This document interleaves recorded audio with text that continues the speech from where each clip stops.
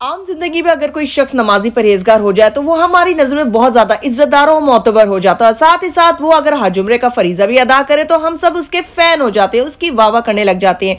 और यही काम अगर सोशल मीडिया शो बिस के लोग करने लग जाएँ तो लोग बजाय उनको प्यार करने, उनकी इज़्ज़त करें, उल्टा उन पर तरकीद करने लग जाते हैं। हज़ारों सवाल उनके आगे खड़े कर देते हैं। यहाँ तक कि इनको ताने भी मारे जाते हैं। आज की वीडियो में मैं आपको कुछ ऐसी सेलिब्रिटी के बारे में बताऊँगी, जो जब हज और उम्र की अदायगी के लिए गए तो वहाँ उनके साथ साथ क्या क्या हुआ, लोगों ने इनके साथ क्या किया, उनके साथ कैसे सलूक किया और किस तरह से इनको तनकीद का निशाना बनाया। सबसे पहले बात करते हैं यशमा गिल की। यशमा गिल पाकिस्तान की एक बेहतरीन अदाकारा है, लोग इनको बहुत ज़्यादा पसंद करते हैं। यशमा गिल कहती है कि मैं एक मजहबी घराने से ताल्लुक रखती हूँ, वही मेरी परवरिश हुई है, फिर मैं बाहर चली गई और वहाँ मैं सीधी राह से भटक गई। मेरा नाउज बिल्ला अल्लाह से ईमान ही उठ गया था, लेकिन फिर आउट ऑफ़ कंट्री रहते हुए भी मुझे एक ऐसी दोस्त मिली जिसके ज़रिए मैं दोबारा राय रास्ते आ गई और अल्लाह के करीब हो गई। उसके बाद मैं पाँच वक्त की नमाजी बन गई लेकिन जब मैं उम्र में गई तो वहाँ मुझे लोगों ने शदीद तनकीद का निशाना बनाया था। दूसरी तरफ़ यशमा गिल जब उम्र से वापस आई अब मुबारकबादों का सिलसिला जारी था तो उनकी एक वीडियो लंदन की रोड पे डांस करते हुए वायरल हुई, जो हर लिहाज से बिल्कुल मुनासिब ना थी। फिर उसके बाद लोगों ने जैसे इन पर हल्ला ही बोल दिया और कहा कि एक तरफ़ तो आप उम्र करती हैं और दूसरी तरफ़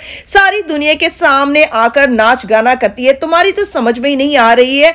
हम चाहते हैं कि तुम किसी एक तरफ़ आ जाओ। रोड पे डांस करना तो किसी प्रोफेशन का हिस्सा भी नहीं है। हैं। कुबरा खान की। कुबरा खान भी पाकिस्तान की ज़बरदस्त और खूबसूरत अदाकारा है। लोग उनको बहुत ज़्यादा पसंद करते हैं। रिसेंटली जब वो उम्र पे गई तो वहाँ कुछ लड़कियों ने उनके साथ बुरा सलूक किया। उन्हें हकारा से देखते हुए कहा कि अब इस तरह के लोग भी उम्र करने आएँगे। उन्होंने मजीद कहा कि लोग समझते कि हमारा दिन इस्लाम से कोई ताल्लुक ही नहीं है, क्योंकि हमारा ताल्लुक शोबे से है। तो हम सिर्फ़ उल्टे गलत काम ही करने वाले लोग हैं। हालाँकि लोग मेरे अल्लाह से ताल्लुक को नहीं जानते और मैं कई रोल भी इसलिए रिजेक्ट कर देती हूँ कि कभी लाइफ में मुझे पछतावा ना हो कि ये मैंने इस वक्त क्या किया था। या जब मैं मौत की तरफ़ जा रही होंगी तो मुझे अपने अल्लाह के आगे शर्मिंदगी ना उठानी पड़े। एक और जोड़ी है जुल्कनैन हैदर और कवल आफ्ताब की। लोग इन दोनों को भी बहुत ज़्यादा पसंद करते हैं। इनके फ़ैन है। इस जोड़ी की कमाई भी अच्छी खासी है सोशल मीडिया के सुपरस्टार है।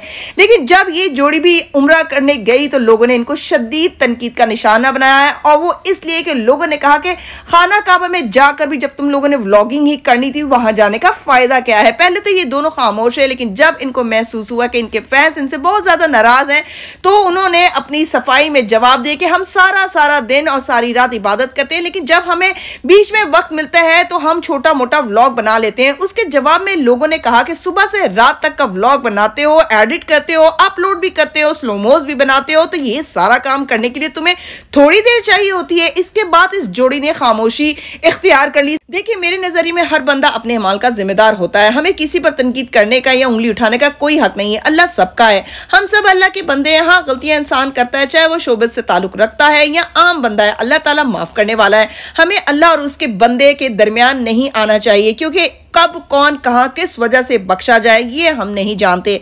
आप लोग इस बारे में क्या राय है कमेंट सेक्शन में ज़रूर बताइएगा। अगर आप लोग को मेरी आज की वीडियो पसंद आई तो मेरे चैनल को लाइक करें शेयर करें और सब्सक्राइब करें। और आने वाली मजीद वीडियोस के लिए मेरे बेलाइकन को प्रेस करना हर किस्मत भूलें।